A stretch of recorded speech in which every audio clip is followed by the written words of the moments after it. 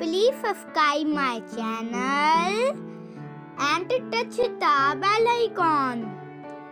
हमारा channel subscribe करें और साथ में बेल आइकॉन भी दबा दीजिए, जिससे हमारी सारी वीडियोस आपके पास पहुँच सके